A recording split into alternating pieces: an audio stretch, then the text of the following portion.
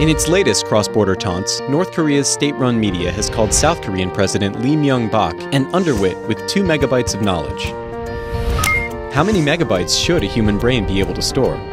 A lot more than 2. Most computational neuroscientists estimate human storage capacity somewhere between 10 and 100 terabytes. A terabyte is a million megabytes. The math behind these estimates is fairly simple.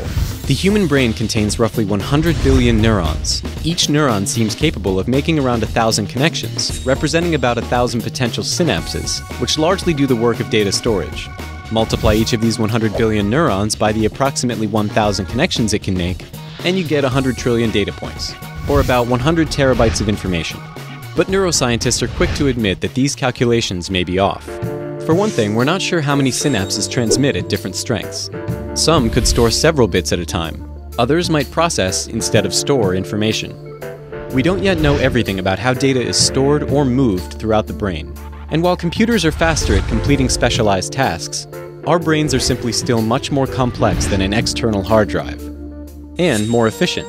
To run a computer as complex as the brain, some estimate you'd need the same amount of power used to run all of Washington, D.C.